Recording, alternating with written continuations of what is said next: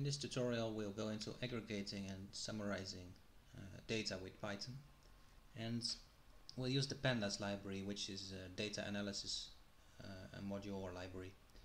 So the actual data we're using in this example is forex data. So you can get it on histdata.com or uh, so, so that's a site where you can get the forex data so this is actual data you're looking at is uh, trading data between uh, euro and dollar. So one euro would give you 0.93 United States dollar. Uh, and the, this value changes over time. So it's actual real trading data of the year 2000. So you'll see that it's changing in time. And uh, so one thing we could do is, uh, let me just remove the previous app is to load it to load this file. So we'll type import pandas. It's a comma separated value file so not an uh, excel file. But uh, pandas works with excel as well as you'll see in a later video. So we'll import uh, pandas and uh, we'll load the module or we'll load the data. So we type data is pandas.read comma separated value file and you need the actual file name and close it.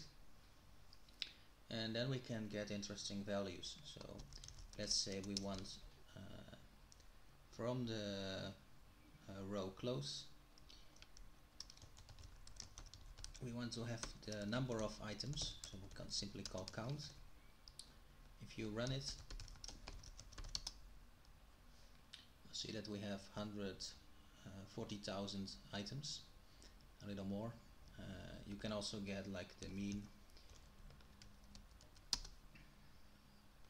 uh, the minimum and all the other values. So there's a whole bunch of values you can uh, get. Um, let me see yeah so you can get the the count uh, the summation of values using sum uh, the mean and various other values. So quite a lot of things you can uh, get. Uh, so let me just show you right here.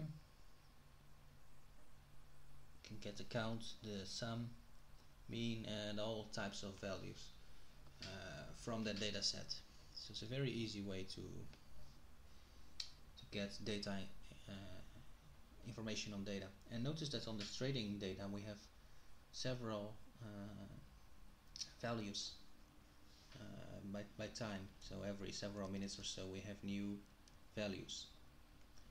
And this data goes on on several days. So we have here the 30th day and we see different days uh, right here. So it's another day then for example here. And one thing we can do is aggregate this data. So to uh, show the value by day instead of by uh, every 10 minutes or so. So to do so um, we'll simply print data and this data will be grouped by uh, every item in the column date which is the or, or the row date which is all of these and for every item in that so every X at first. And then you'll see we made a typo. Um,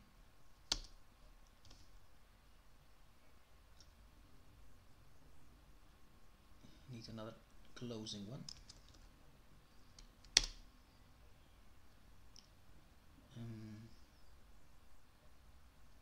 sorry. It needs to be closed here. So it, we group it by date for every x. So group it by the same number. So these are all the same. Uh, so these will be grouped. And then we'll say uh, first one of that set. So we run it, it takes a while to load but we see for every date uh, the value and so 29 28 and every day we see the forex uh, rate so this is the closing uh, data as you'll see here. So that's an easy way to, to summarize the data. Uh, so, to aggregate the data.